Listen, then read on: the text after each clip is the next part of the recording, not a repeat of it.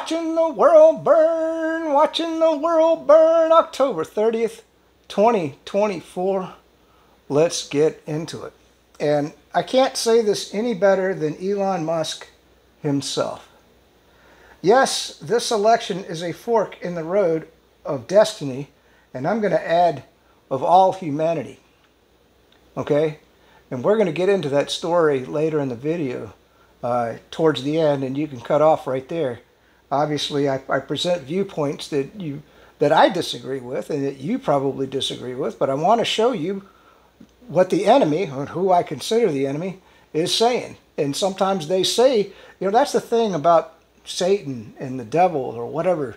Uh, you know, they always mix a bit of truth with uh, garbage. You know, uh, disin well, they call it disinformation. I call it bad information or lies, mainly lies. So let's uh, let's keep reading. The reason why I'm involved in politics this time is because this time it's a fork in the road. I think we're doomed if Trump doesn't win, so he's got to win. Now, does that tell you why uh, Elon Musk is there? And so we're going to talk about the dream team. I mean, we've got Elon. I mean, think about this. Okay, throughout history, you've got Aristotle, you've got uh, Ford, you've got Tesla, you've got uh, Einstein. Uh, I mean, all of the great minds, Newton, going back throughout history, you know, we always, you know, it's it's it's it's it's a rare happening in world history when you have five minds, like Elon Musk, like Donald J. Trump, like Vivek Ramaswamy, like Tulsi Gabbard, and like like Robert F. Kennedy Jr. They always they all bring unique qualities to the plate to turn around the destiny of the United States and perhaps all of humanity. We are on the precipice of a world war. And in that, we all die in a nuclear holocaust. So, and also, even if the nuclear holocaust doesn't happen, I dare say the United States is going to cease to exist. If the Democrats get elected, okay, you've got, I mean, look at the people that were in Trump's administration Mike Pompeo. Uh, good Lord, you had General Kelly. I mean, uh, all evil bastards. I mean, Mark Milley. I mean, that traitor. He's a freaking traitor. Uh, Austin. I, now he wasn't in Trump's. I don't think he was in Trump's administration, but he was up there in the ranks. We've got nothing but traitors in the country right now. They all hate the United States. They want to see you and us uh, all fail. So this election means more than anything else. And but don't take my word for it. And that's why I talked about the great minds of the world. So I'm going to play at the beginning of this video uh, Dr. Jordan Peterson. If you're not familiar with him, uh, he is he's on the level of Einstein in, in my mind. I mean, uh, he he's one of the greatest minds. He's out of, out of out of Canada of all places. Canada actually because they didn't want to listen to his uh, his opinion on things or his he refused to bow down to the man. And uh, so he ended up moving to the United States, and now he's even talking about how important this election is to you and me. But don't don't listen to me. You know, I'm just a dummy. You know, I'm I'm one of the dumbest dumb people on the planet. you know, I admit that. You know, I just I make these videos because I'm trying to help the world in some fashion, and as I, I snoop around and, and learn from other people, which mainly I do. Uh, you know, I want to get back to my life. I want to have a cybersecurity business. I want to put up a website. I want to sell t-shirts. I want to do anything besides make these videos, but I think that, like Elon said, we are on the precipice of annihilation or our salvation. Let's watch Jordan Peterson now. On to Elon himself. First and foremost, the world's premier engineer and inventor is a man clearly and demonstrably capable of doing six impossible things at the same time. This speaks primarily of his intelligence. Musk is exceptionally one in a billion high in general cognitive ability and openness, a true genius, albeit in the technical manner. That is an observation, not a criticism. With regard to personality, he's not particularly extroverted, tilting, I would say, in the opposite direction, although not exceptionally so. He is moderate in neuroticism, carrying a fair burden of depression-like pain with him, not least because of a truly rough childhood which he alludes to, but does not make a show of. There is some withdrawal there, run roughshod over by his brilliance and openness, and also some volatility evidenced in his behavior on X online, somewhat reminiscent of Trump himself. Musk is also a worker and manager, hard and dedicated, far beyond the norm. So exceptionally high in conscientiousness and agreeable enough, particularly on the compassionate side, to be very pro-human. He is, however, no pushover, is not particularly polite and can and does make the difficult judgments of discrimination that allow him to continually operate and maintain multiple, extremely large, demanding, stunningly diverse, and truly cutting edge enterprises. His staggering intelligence and business acumen means that he brings something near miraculous to the Trump X-Men team. I would vote for Trump as president if I could vote, and I can't because I'm Canadian, and forgive me for that. Just because Musk has agreed to play a role in any new administration that Trump might bring about. He has even wittily proposed to head up a new Department of Governmental Efficiency, a phrase whose initials, D-O-G-E, indicate the willingness in an inside joke manner to do only good every day, as well as signifying a bemused but knowing dog whose image has become a widespread meme. It has been my diligent and hopeful observation that Musk is a good man, or at least a terrible, complicated man, trying very hard to be good, which is all we could truly hope if we were the least bit realistic about human nature and our own prospects. Could Musk do to the American deep state what he did for Twitter? Could he prune and cut so the Republic could revitalize? Stranger things have happened in the course of human history. Javier Milei is trying something similarly demanding in Argentina. And the US of A has a remarkable capacity to reinvent itself. Someone like Musk playing a key role in the governance of the greatest show on earth is a once in a lifetime opportunity. That's an adventure by anyone's standards. I have met with the next member of this group in question, Mr. Robert F. Kennedy, five times, speaking with and listening to him at some length each time. He has the near manic energy and loquaciousness of those with exceptional verbal intelligence and the intensely focused concentration that pushes people who have that proclivity beyond even their own limits in pursuit of a goal. He's dreadfully well informed, a veritable master of historical minutiae in a manner nonetheless relevant to today's concerns. He is also someone who, like Trump and Musk, can and does draw the overall picture accurately and even in a somewhat prophetic manner. He is fearless and dedicated, having stood up and successfully against even the largest giants of the proto-fascist modern state and has single-handedly drawn public attention to what is genuinely a health crisis of gargantuan proportions, despite its invisibility on the political stage until the current time. He's also someone once bitten, twice shy, a seriously wounded apostate Again, like Trump and Musk, as well as Tulsi Gabbard, from his own original favored party, the Democrats. When I first spoke with Mr. Kennedy on my YouTube channel, I asked him the same question I always ask the many Democrat leaders I have spoken with, most privately, unwilling as they generally are to risk being seen in public with the likes of me. The question, when do you think the left goes too far?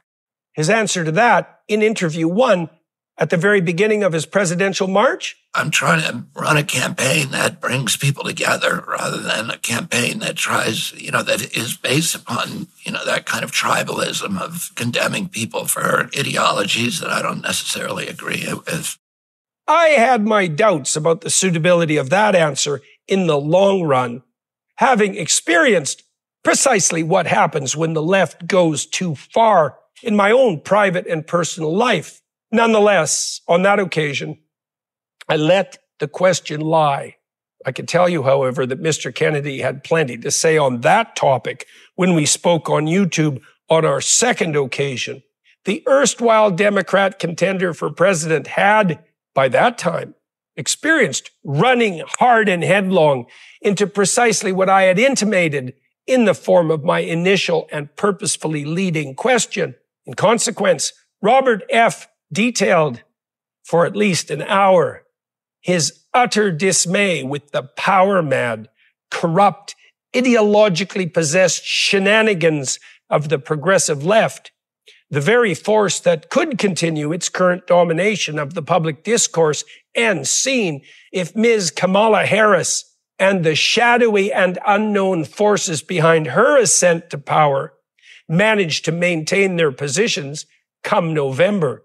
What is Kennedy like as a personality? Extroverted, like Trump, although perhaps not as much so. Trump is hard to equal, let alone top in that regard. Not without his pain and negative emotion, like Musk. Not too agreeable, although not at all narcissistic. Despite his markedly forceful assertiveness in opinion and as a speaker, this was evidenced not least by my comparative silence, particularly during our second YouTube discussion. I'm a very talkative, verbally assertive person, for better or worse. But Mr. Kennedy had the stage for the vast majority of our time together. That was as it should be, in my opinion, given the circumstances, but it is still something that does not happen to me very often, even when I intend it to. But there is even more on the table, as there are more remarkable actors involved. The last time I saw Tulsi Gabbard was in DC during a discussion hosted in this strangest of all possible worlds by Russell Brand. I had spoken with her at length, as in the case of Kennedy, on my podcast, although only once. What is Lieutenant Colonel Gabbard like on the personality side? Moderately extroverted, higher in assertiveness than enthusiasm. She is no giggling girl. Perhaps her military experience mitigated against taking that sometimes charming, but often too easy route. Markedly low in neuroticism, as befits a woman who pursued a true military career. Agreeableness? Ms. Gabbard cares genuinely about those she served and continues to serve. Although I would say she does so in the temperamentally conservative manner that is part patriotism and part respect for the intrinsic dignity and worth of every person, rather than in the oft cloying, false, and morally self-righteous manner that so often characterizes the so-called allies of the oppressed. On the side of the progressive left, she's also very smart, without the more showy brilliance of Ramaswamy, who we still have to discuss, down to earth in that intelligence and is as conscientious as you would hope an ex-military member and influential political leader might be. Gabbard is the sort of woman who would make of someone a favorite aunt, a close confidant, a trusted friend. If you wanted sane advice, she'd be your pick.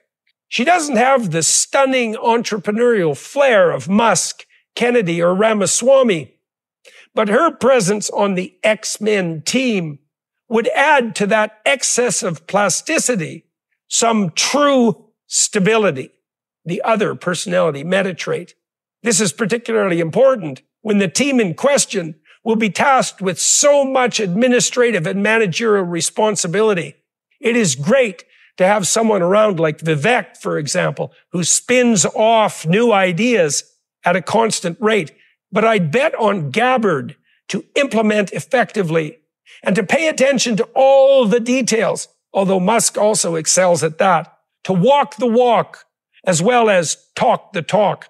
She's a very difficult person not to admire, not to feel lesser than in her presence. She's solid, competent, straightforward, admirable, brave, patriotic, and tough. She'd be a truly thoughtful presence in the Trump X-Men team, which might otherwise tilt too hard toward the entrepreneurial and revolutionary. Slow down, gentlemen. Take some time and think. She has as well the emotional resilience not to panic, even under pressure, not to claim that the sky is falling and rush around madly and counterproductively merely for the show of work. It doesn't hurt as well that she is the epitome of feminine grace and attractiveness. Wonder Woman indeed, borrowing, if we can, from the DC world, the comic books, and not the city. I could certainly envision her as the first truly deserving female president of the United States. This brings us to one Vivek Ramaswamy. He and I recorded a number of podcasts, which I greatly enjoyed. That started before he was running for office when we discussed another notable accomplishment, the establishment of his Strive Asset Management Fund, designed to give investors an alternative to the mongers of ESG stakeholder capitalism who are doing everything they can to sneak a particularly pernicious form of top-down, centrally planned socialism into the free market system. So they can pretend to be virtuous in a manner hypothetically unlike their greedy by implication peers.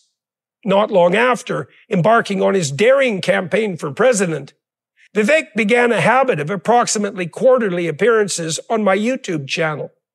That effort, despite its unlikelihood, given his unknown status as a political contender, unfolded very successfully, bringing both the candidate and his ideas to a wide public audience and proving his credibility as a young and rising alternative on the political scene. What can I say about Vivek's personality? He is extroverted, both on the assertive and enthusiastic side, characterized by more positive emotion overall than anyone else we have discussed. He's also very high in openness, both to ideas and, as far as I could tell, on the artistic cultural side, although perhaps more the former than the latter. He shares those traits with Trump, Musk, and Kennedy, although less so, although she is still far above average in such regard, than Gabbard. He's more polite than Trump, certainly, more measured in his speech, less rough and provocative, although also less witty, although certainly not dull. I would hazard a guess as well that he is less compassionate and people-centered than both Trump and Musk. Ramaswamy tends to stay in the realm of ideas and is clearly motivated on the political side primarily by intellectual curiosity, as well as the desire to see things done better. He appears low in neuroticism and is highly stress tolerant, as those are the same thing. Unlikely to withdraw, like Trump, less depressive than Musk or Kennedy, but also less volatile than Trump, quite stable temperamentally on the emotional side. That's a good feature in a crisis, as noted in the case of Gabbard. I suspect he is high in conscientiousness as well, particularly on the side of industriousness, which is half that trait, the other half being orderliness. Ramaswamy is very successful for a comparatively young man, and he has done that in consequence of his own efforts. This is not a fate that befalls people who fail to work dreadfully hard. Cautions? with regard to Vivek? Mostly to do with his youth. Mr. Ramaswamy is accustomed to being the smartest person in the room and perhaps the most successful. This gives him a certain brashness. When I watched him in the first round of the Republican primaries, for example, he was the candidate who received the most positive responses from the audience, as well as the most negative. The same was true, arguably, of his compatriots on the stage, I thought he risked in his provocative but undeniably interesting approach some unnecessary enmity from those same people. And it is not clear to me that this was a good long-term strategy, given the high possibility of sharing a bed with at least some of them, metaphorically speaking, in the future. I would say that as his campaign progressed, he became more moderate and careful in his criticism of his fellow Republicans, but also more measured overall in his utterances. This is a sign of someone humble enough to learn despite his confidence. And that is a good thing. He is, above all, like Musk, Kennedy, and Gabbard, cognitively gifted. And that is also a good thing. Complex jobs require highly intelligent people to manage them. This is true of any job where the demands constantly shift and governance at the highest level certainly qualifies. Trump, Musk, Kennedy, Gabbard, Ramaswamy, Vance, that's a dream team by the standards of anyone looking for a wild and compelling show. God only knows what, with that same God's help, they could accomplish. Every single one of those people is remarkable in their own right. Everyone a person whom it has been a privilege to watch, hear, and to some degree get to know. It is for such reasons, for what it is worth, that I hereby and wholeheartedly endorse the Trump. Hi, I'm Seth Dillon, CEO of the Babylon Bee. While other fake news organizations like the Washington Post and the LA Times refuse to save democracy, we here at the Babylon Bee are proud to do our part. Today, we've decided to officially endorse communist Her- Kamala Harris for president. Why Kamala? Well, we'd be here all day if I listed all the reasons, but I'll name a few. To begin with, she shot straight to the top because of her intellect. Smart lady. She's the first person in history to win a primary without receiving a single vote. That's impressive. She's a person of color. Indian, I think. She's a phenomenon. She gave Drew Barrymore a hug, an act that symbolized her willingness to wrap her arms around the country and give us all a hug whenever Republicans make us feel sad. She was such a popular vice president that over 12 million people hiked hundreds of miles to cross our southern border to vote for her without ID in this election. She has a melodic and soothing voice, especially when she laughs. I can listen to her laugh for hours. Most importantly, though, she is not Donald Trump. Wow. How can you put into words the greatness that is Kamala Harris? She reminds us to look forward to what can be, unburdened by what has been. And she understands, perhaps better than anyone else, the significance of the passage of time. She knows, as all wise leaders do, that there is great significance to the passage of time. Each minute that passes takes us from the present into the future. We're only here, right now, in this moment, because other moments, like the one that just went by, have passed. What could be more significant than that? We are grateful that when America is on the brink of losing its democracy, the person standing strong against the looming threat of fascism is a woman is accomplished, intelligent, joyful, and non white as Kamala Harris. And so we join Eminem, Megan Thee Stallion, the Insane Clown Posse, and many other great thought leaders by proudly endorsing Kamala Harris for president.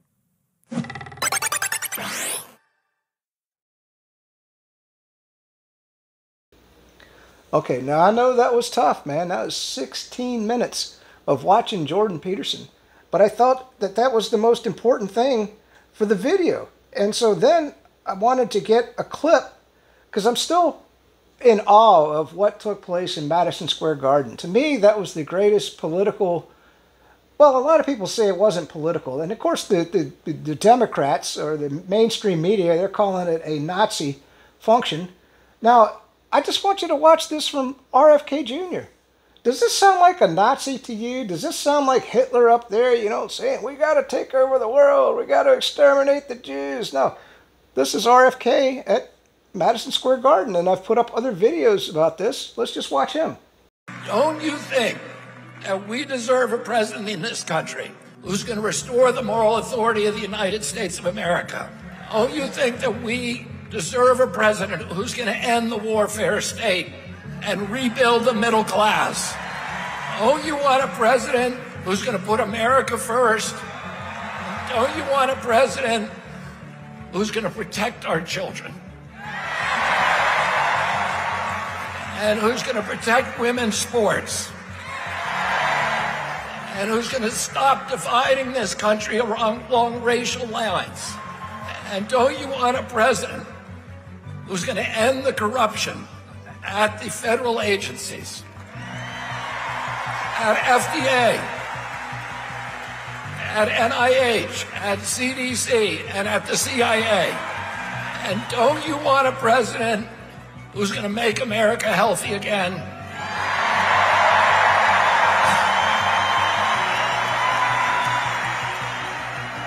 And don't you want a president who's going to make America great again?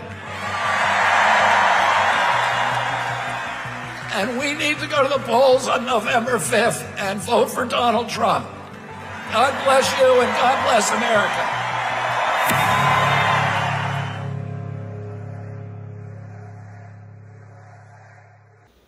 Okay, so that was RFK Jr. Uh, so now, I, you know, and, and, I hate to say it, I mean, a lot of this video, if you want to cut off right here, you probably should. I wanted to say, um, okay, so this this is, you know, so we got a lot of cheating going on, so I wanted to get this out. I was talking to a buddy of mine, and it turns out these were legitimate ballots, but did they push them off the back of the truck intentionally? Not good. Someone found a box full of ballots and other documents on exit 11 at the intersection of 20, 211th Street in Cutler Bay, Florida. He immediately picked them up and took them to the police station where they have been properly secured. No information yet on who's responsible or how they got there. If this is happening in Florida, imagine what's happening in Detroit, Philly, and Atlanta. So, yeah, there's a huge amount of cheating going on right now across the country. Mainly, I would imagine, in Wisconsin, Pennsylvania, uh, Michigan. Uh, you know, they are trying to steal the election. I mean, why, why else? You know, what sane person would not want voter ID except a Democrat? Okay, I I want a free and fair election. You know, and that's why I want voter ID. But the Democrats, obviously, I mean, it's right in your face you know that if you don't if you don't want voter ID, you're obviously trying to cheat on the election, and that's the only way they can cheat. But you know, anyway, so I just wanted to put that story out. Uh, so now we're going to get into the second half of the video, and you probably might want to cut the video off right here because I'm going to get into Israel, and I'm going to present this from an uh, well, they would call it anti-Semitic, uh, but I'm going to just present it from from a pro-Palestinian position. And a lot of Christians, a lot of Americans, they don't want to hear all this. And so you can cut off right here. But uh, let's, uh, let's, let's just take a couple of things.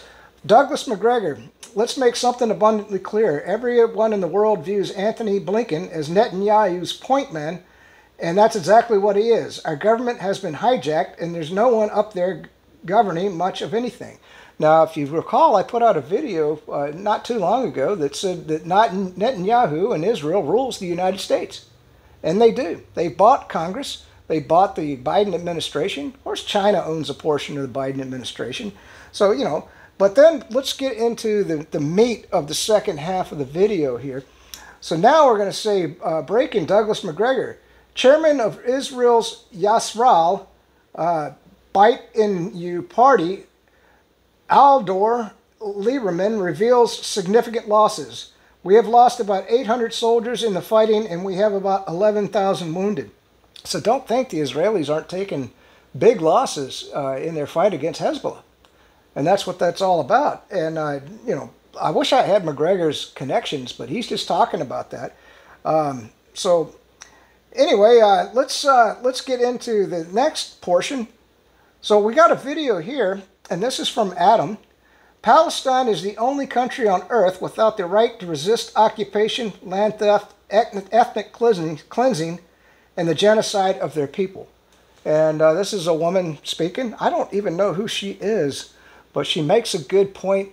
Let's watch that video now. Not the same. Like, Israel is an oppressive, colonizing force. It was a state that was created on top of an indigenous land that was full of people. And the foundation of Israel was ethnically cleansing that indigenous population. And the continuous growth of Israel is predicated on the continuous ethnic cleansing and expulsion of those people. So, you know, for me, um, looking at Palestinians who are constantly subjugated, brutalized, humiliated. In the West Bank, 3 million Palestinians live under this brutal military occupation that's akin to a fascist military dictatorship. And then in Gaza, of course, you're living under brutal medieval siege where you're occupied mm. militarily by the outside. So for me, looking at millions of people who are denied basic human rights, living under an apartheid system, living under brutal military occupation. To me, that those are victims. Those are victims of policies that are horrific crimes against humanity. There is no both sides in that issue. Um, is Israelis are free to go wherever they want. Um, a lot of Israelis aren't from Israel. They're they're from other Western nations or whatever. I mean, we know that right of return. You can be a, a Jewish person anywhere in the world and just move to Israel. Um, you can ethnically cleanse a Palestinian village and move to Israel and move right there and and be um, you know be aided and embedded by the state. So for me, it is a question of just simple morals. I, I, I have extreme moral righteousness when I look at an issue like Israel Palestine because it's just so obviously naked. Um, and you know, when we look back, like if we look at something like October seventh, and you know, um, on the Piers Morgan show, and you know, we spent ten minutes of this so-called debate where he's just basically demanding that I condemn Hamas. And for me, it you're getting into a tricky situation where you're being asked to condemn people who are living under an oppressive system. We're not even talking about the atrocities or crimes that were committed on October 7th. I'm just talking about the actual both sidesing of Israel and Hamas. And and there's just no comparison whatsoever, Ryan. And when we look back at the Nat Turner slave rebellion hundreds of years ago, no one is asked is this a moral issue? You know, uh, it's so obvious. It's like you're not going to condemn the slaves for revolting. You can talk historically about why atrocities were committed or why some things happened the way that they did, but you would never condemn the slaves for breaking out of their shackles. Okay, so that was her on that. And so then we get into uh, a nice video that uh, Novus, let's see, where is it at here? Uh, N-O-C-T-I-S, Draven, and he put together this animation. Uh, I tell you what, I can't imagine how people put together these animations, but it just kind of depicts what's been taking place in northern Gaza as the Israelis exterminate the Palestinians. And you say, oh no, that cybersecurity guy, it's not an extermination. Yes, it is. It's a genocide. Let's watch that animation. I thought it was pretty cool.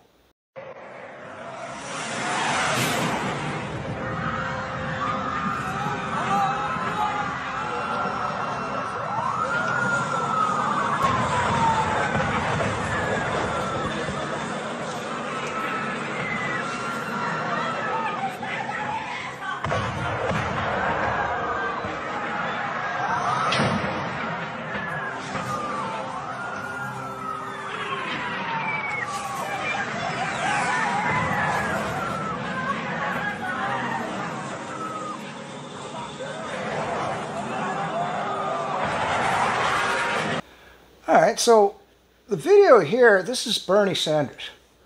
Now, sometimes, you know, we have to show people that we don't agree with, but agree with on certain points. And so Bernie actually came out and he talked about the genocide that's taken place in Gaza. And he does a good job talking. I mean, he's a politician, man. I mean, you have to admit the guy's he's been in public office longer than I've been alive. he's, he's, older than dirt, man. Uh, and, and to be able to do that, you got to be somewhat smart and articulate in what you're saying. And so I wanted to put up his entire video. It's it's six minutes of torture. Uh, so if you want to watch it, but you know I've got friends that say you know that cybersecurity guy. All you present is one side. You don't ever you know show what the Democrats are saying or what they're what they're doing. And so I wanted to put up Bernie Sanders because I agree with what he's saying about Gaza, but I want you to notice how he twists everything towards the backside of the video. And he, and he wants to depict, you know, MAGA Republicans as, as the enemy and how, you know, what you know his, his comments are very divisive and they divide the nation. Anyway, let's just finish off the video right there. Let's watch Bernie Sanders. I understand that there are millions of Americans who disagree with President Biden and Vice President Kamala Harris on the terrible war in Gaza. I am one of them. While Israel had a right to defend itself against the horrific Hamas terrorist attack of October 7th, which killed 1,200 innocent people and took 250 hostages, it did not have the right to wage an all out war against the entire Palestinian people. It did not have the right to kill 42,000 Palestinians, two thirds of whom were children, women, and the elderly, or injure over 100,000 people in Gaza. It did not have the right to destroy Gaza's infrastructure, housing, and healthcare system. It did not have the right to bomb every one of Gaza's 12 universities. It did not have the right to block humanitarian aid, causing massive malnutrition in children and, in fact, starvation. And that is why I am doing everything I can to block U.S. military aid and offensive weapon sales to the right wing extremist Netanyahu government in Israel. And I know that many of you share those feelings. And some of you are saying, How can I vote for Kamala Harris if she is supporting this terrible war? And that is a very fair question. And let me give you my best answer. And that is that even on this issue, Donald Trump and his right wing friends are worse. In the Senate, in Congress, the Republicans have worked overtime to block humanitarian aid to the starving children in Gaza. The president and vice president both support getting as much humanitarian aid into Gaza as soon as possible. Trump has said Netanyahu is doing a good job and has said Biden is holding him back. He has suggested that the Gaza Strip would make excellent beachfront property for development. And it is no wonder Netanyahu prefers to have Donald Trump in office. But even more importantly, and this I promise you, after Kamala wins, we will together do everything that we can to change U.S. policy toward Netanyahu. An immediate ceasefire, the return of all hostages, a surge of massive humanitarian aid, the stopping of settler attacks on the West Bank, and the rebuilding of Gaza for the Palestinian people. And let me be clear we will have, in my view, a much better chance of changing U.S. policy with Kamala than with Trump, who is extremely close to Netanyahu and sees him as a like minded right wing extremist ally. But let me also say this, and I deal with this every single day as a U.S. Senator. As important as Gaza is, and as strongly as many of us feel about this issue, it is not the only issue at stake in this election. If Trump wins, women in this country will suffer an enormous setback and lose the ability to control their own bodies. That is not acceptable. If Trump wins, to be honest with you, the struggle against climate change is over. While virtually every scientist who has studied the issue understands that climate change is real and an existential threat to our country and the world, Trump believes it is a hoax. And if the United States, the largest economy in the world, stops transforming our energy system away from fossil fuel, every other country, China, Europe, all over the world, they will do exactly the same thing. And God only knows the kind of planet we will leave to our kids and future generations. If Trump wins at a time of massive income and wealth inequality, he will demand even more tax breaks for the very richest people in our country while cutting back on programs that working families desperately need. The rich will only get richer, while the minimum wage will remain at $7.25 an hour, and millions of our fellow workers will continue to earn starvation wages. Did you all see the recent Trump rally at Madison Square Garden? Well, I did. And what I can tell you is that as a nation, as all of you know, we have struggled for years against impossible odds to try to overcome all forms of bigotry, whether it is racism, whether it's sexism, whether it's homophobia, whether it's xenophobia, you name it. We have tried to fight against bigotry. But that is exactly what we saw on display at that unbelievable Trump rally. It was not a question of speakers getting up there disagreeing with Kamala Harris on the issues. That wasn't the issue at all. They were attacking her simply because she was a woman and a woman of color. Extreme, vulgar sexism and racism. Is that really the kind of America that we can allow? So let me conclude by saying this. This is the most consequential election in our lifetimes. Many of you have differences of opinion with Kamala Harris on Gaza. So do I. But we cannot sit this election out. Trump has got to be defeated. Let's do everything we can in the next week to make sure that Kamala Harris is our next president. Thank you very much. I think this is the most important election ever. We have to get Trump and the Dream Team elected. Um, if not, you know, well, my life's done. Obviously, I won't be able to start my business. I'll be censored. Uh, you'll never see me again. Uh, my guns will be stolen by the Democrats. Uh, the Second Amendment, the Constitution, will cease to exist, and uh, we'll no longer be a free nation. That's my honest belief. Peace out. Stay free. All right, so that's it for the video. Um, I guess I can't say no more. Peace out and stay free.